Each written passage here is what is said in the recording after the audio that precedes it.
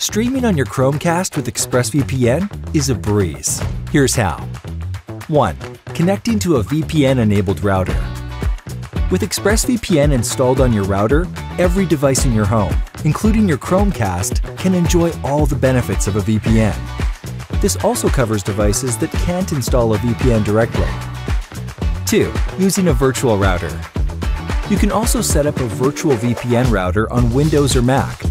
This will give you the same benefits of using a VPN-enabled router, and you won't need extra equipment apart from your computer. 3. Mirroring to your TV. Mirror a show or movie from a VPN-enabled smartphone or computer directly to your TV using Chromecast. This is perhaps the simplest way to use your VPN to stream to a TV. And there you have it. You can now securely stream on your Chromecast with ExpressVPN. Need extra help?